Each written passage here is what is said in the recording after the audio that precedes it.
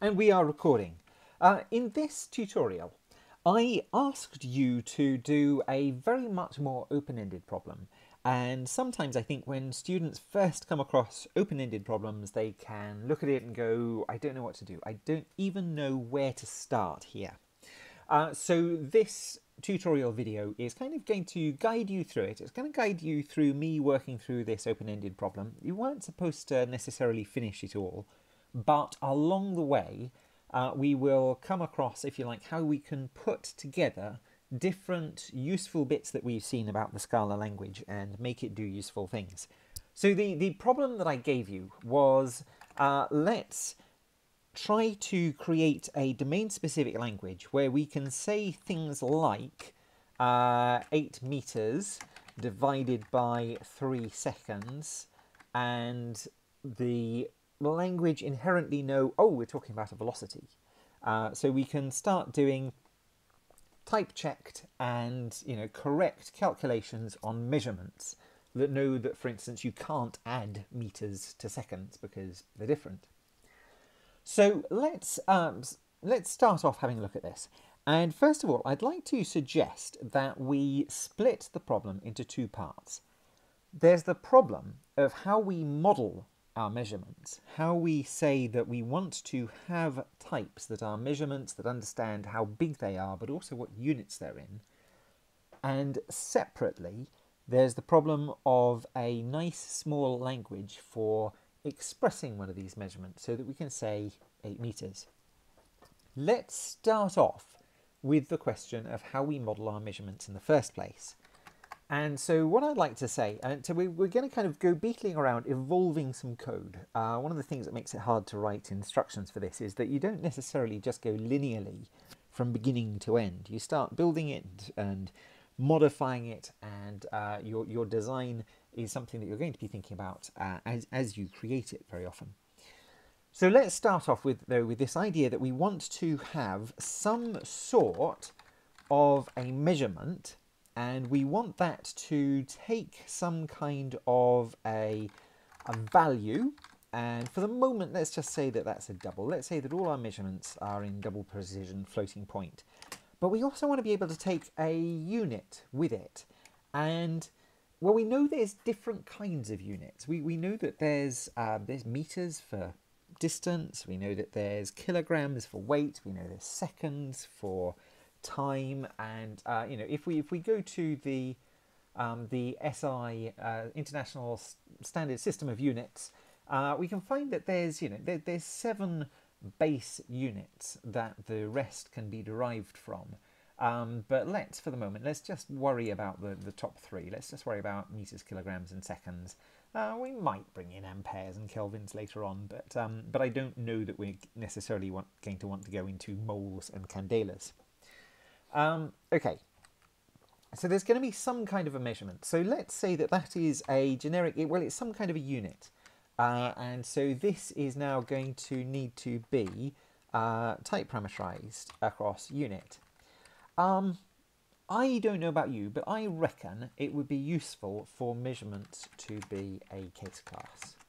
So let's say we've got a case class measurement of u and uh, it's in some kind of a uh, some kind of a unit. And so already we can say, you know, val m is a measurement of um, 8. Uh, ooh, we would like to say that that is, you know, 8 meters. All right. I'm going to suggest that we would like to have objects that represent our fundamental units of measurement. So let's start off with the first one. Let's say that there is an object called a meter.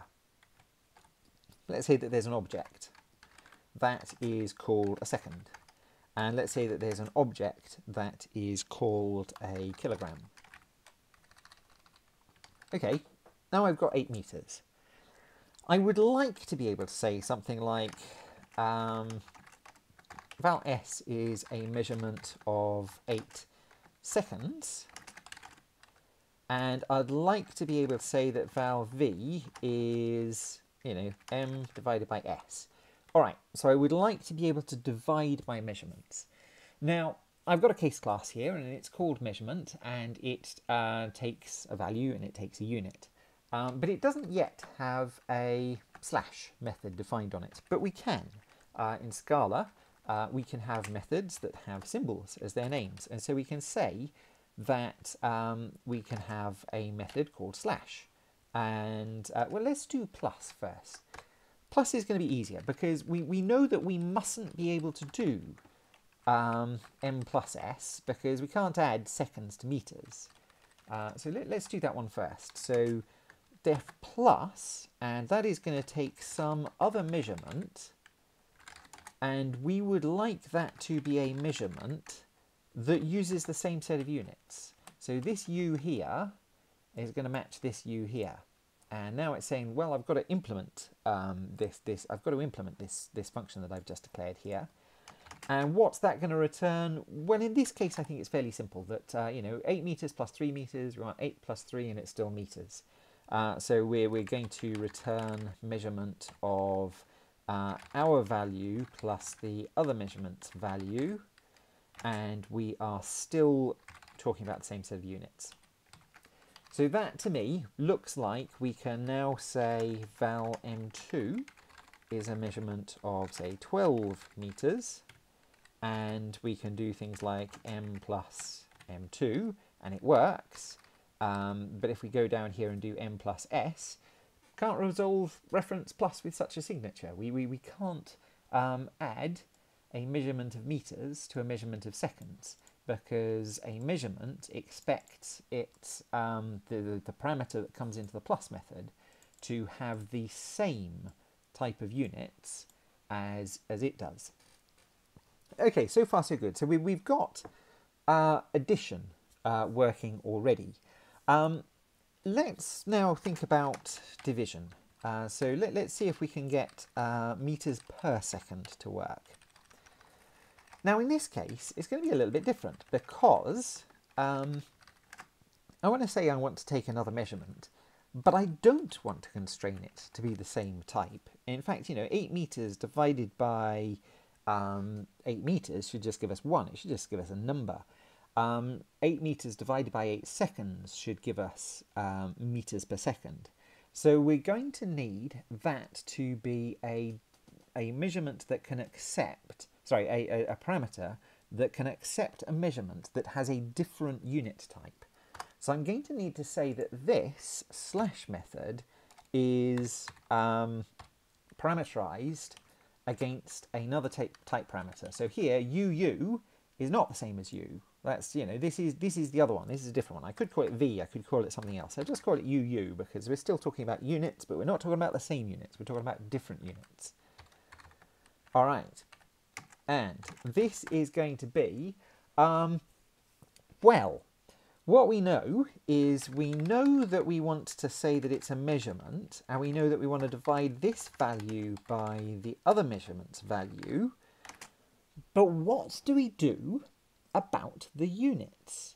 Um, if we say, you know, our unit by other measurement dot unit, ah, we kind of can't, can we, at the moment? The, you know, what is this? That That's of type U, but I haven't said anything more about it. This is of type UU, but I haven't said any more about it.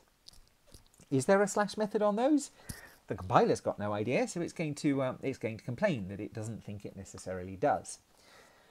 So this is where we can start to uh, realise that, well, we are defining these units. We can say these units all belong to a trait. These units all belong to a trait that we're going to call SI units. So let's say trait SI unit. And so let, let's say all of these objects are members of that trait. Uh, extends SI unit. Uh, extends SI unit. Okay, so far so good. Um, but we haven't actually said that these are SI units. We've just said they're U, which could be anything. Uh, to specify that these have to be SI units, uh, we need to put what's called a type bound on this parameter. We need to say that whatever u we're pass, whatever this unit type is, u, uh, it is going to be a subclass of SI unit. And uh, so down here, this U is the same. This U here is the same as this U here, so that's a subclass of SI unit. Uh, this UU here is different, uh, and so we haven't necessarily said that that's an SI unit yet. So let's put the type bound onto this one as well. So now we've said that we have a slash method, which takes another measurement, uh, which is has a, you know, it, it, it's type parameterized to something else, which is an SI unit. All right, so far so good. Uh, except we still can't resolve the symbol slash because we still haven't defined it anywhere. But now we've got somewhere that we can go and define it. We can say, all right, compiler, I'm going to teach you how to define, uh, how to divide units. And so we can say that the trait SI unit has a method called slash that takes as a parameter another SI unit. And on the trait, we can leave that um, undefined. We can leave that abstract. Trait, you know, a trait on itself is abstract. We're just saying that, you know, to be an SI unit, whatever extends SI unit is going to implement this um, particular method. And so now we have squiggly underlines on our meters, our seconds, and our kilograms, saying, well, okay, you've said you're going to have a slash method for units, but you haven't got one yet. Uh, so let's go and put one in. And so let's say def slash of u, uh, whoops, si unit. And uh, I'm not sure what it is yet. I'm going to leave it just throwing an undefined ex exception. So let's just get the things to the point where they will tentatively compile, um, though they won't work yet. Um, and so now we've said that, all right, there is a way of dividing units. And so now our measurement class can be divided by another measurement. And whatever the unit, the, you know, the, the, the result of those units is going to depend upon um, what we get from dividing our units. Okay, so, so far so good. And now val v is going to be, uh, well, it's going to be some other kind of SI unit. Um, let's now start to define a few of these. We're not going to go all of the way because I then want to jump across to using implicits uh, to, uh, sorry, implicit conversions, etc., to help you do to write a domain-specific language so that we can do these things. And we're not going to get our um, SI units mechanism perfect, uh, especially we're, we're, we're not going to deal with all of the cases so that it always uh, can catch all of our errors in the compiler. Um, you'll see that this, this will end up being, um, so if I go V down here, uh, all right, but it's a, a val V SI measurement of, well, you know, uh, it, it, it, it's, an, it, it's a what, what is the return type of this uh, method? And well, at the moment, it, it, it's going to be an SI unit, uh, which means we're going to get a measurement that is typed against some kind of SI unit, uh, but we haven't said what kind of SI unit. And so we're going to find that actually we're, we we're not necessarily, for instance, be able, going to be able to yet check that we're only adding velocities to velocities. We need to do some more complicated stuff for that. But let's not go that far. Let's just go as far as, you know, putting some uh, beginnings of things together uh, to get, um, you know, what might be valid for a single tutorial as a solution of how we can have measurement classes that divide and that add and that multiply. So let's go and work out, well, let's have a look at this meter case. And if we're dividing by something else, well, what do we want the unit result to be? And so let's say that we're, for the moment, we're going to match. And we're going to say that uh, in the case uh, where we are matching and we're finding that the unit that is passed in is a second, we want to return, what do we want to return? We want to return meters per second. So this is where I'm going to suggest that for this first pass, for the moment, let's have another kind of unit that is a division, a, re a relationship between particular um, between particular different SI units so that we can have kilograms per second or meters per second or kilograms per meter. And so let's say that we have a case class, and I'm just going to call this a composite unit for the moment. And I am going to say that this has a numerator, which is going to be some sequence as if of SI units multipli multiplied together. And it's going to have a denominator, which is some sequence of SI units, um, which is going to default to being the sequence.empty. All right, so far so good, uh, except that I now need to say that this is going to be uh, an SI unit. In which case, I need to define a slash, which will take another SI unit. And in this case, for the moment, well, if we've got a composite unit, meters per second, and we divide it by seconds, we want meters per second per second, um, well, that for the moment looks like we just want to add the unit into the den denominator. And so let's, for our first pass at this, um, and I'm going to put a fix me note in here. Uh, this isn't quite there yet. Let's say that this is going to return a composite unit of, well, the numerator and uh, the denominator and let us add the unit that we have been passed in uh, to that. Okay, so now we've got composite units that can divide pretty much anything.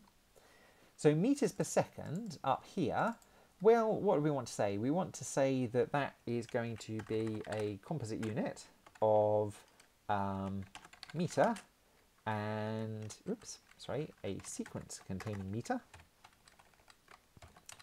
And we would like to pass in, uh, you know, now, now this has a denominator of per second. All right, so we've now got, um, we've now got this working. And in fact, that looks like we could do this for, for, for most of these. Um, so let's, for the moment, let's make that a default um, on the units. Let, let's say uh, that this is just, you know, in, in the trait, if we don't define it anywhere else, um, then the result is going to be a composite unit of a sequence with this unit and UU. And then let's delete those so that we don't override them. Uh, in this case, let's override it so we don't end up nesting our composite units. Alright, so now we've got a slash method that, well, it works for the moment, but the problem is that, you know, as soon as we divide anything, we don't get a velocity, we get a composite unit. And uh, we can add composite units to composite units, but we, we sort of haven't quite worked out what happens with um, if, it, if it goes back to normal. If we got meters per second and we multiply by seconds, we don't get back to meters. We've still just got a composite unit. Ooh, that's a bit ugly, that's a bit ugly. Um, well, let's not worry about that for the moment. Uh, but so hopefully we can see to start with that we can start building these trace uh, these traits and we can start um, defining objects within them and we can put some case classes together and so we can carry measurements around that have their values and their units. For the sake of time, let's jump on to the second part for the moment.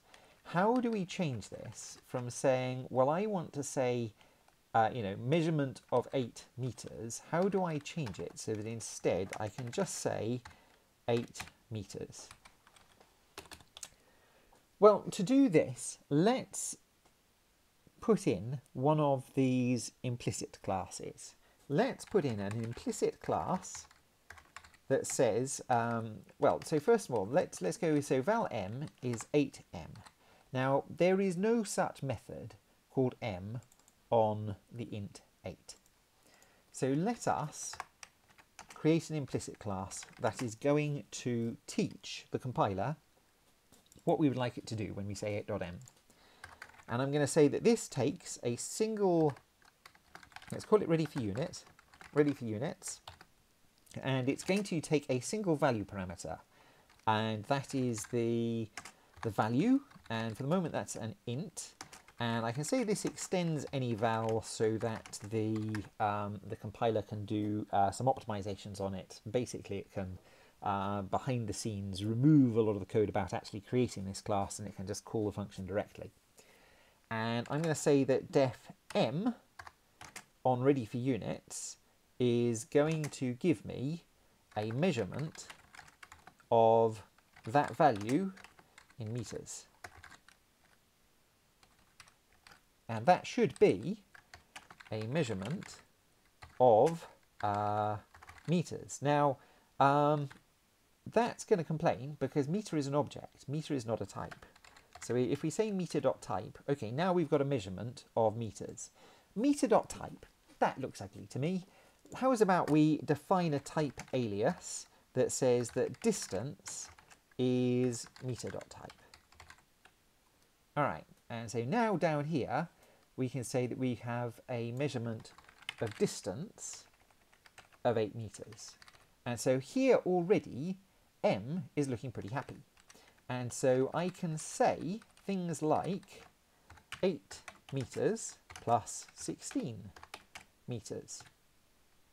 And the compiler is happy. Um, what if I wanted to say 8 kilometers? Um, so let's say we want to have a k method. And k, well, at this stage, we don't yet have the units. We only know that we want to say mm, that many thousand. So let's say that def k instead, it doesn't return a it doesn't return a measurement, it returns another ready for units, because uh, we're still waiting to add our units on the end. And let's say that it returns a ready for units of the value times 1000. So now 8km is kind of happy. And I can do things like I can say 8 meters plus 16 kilometers. So far so good. That looks like that is pretty happy. I can say things like 8 dot kilometers divided by uh, 3 dot... Ooh, I don't have seconds yet. So, all right, let's go and define def seconds, which is a measurement of time. Uh, oh, I haven't defined time. Let's go up here and let's say that time is an alias for second.type. Now I've got a measurement of time, and let's say that that is a measurement value in seconds. And I can say 8 kilometers divided by 3 seconds and I'm going to get a one of these um, measurements that has a set of composite units.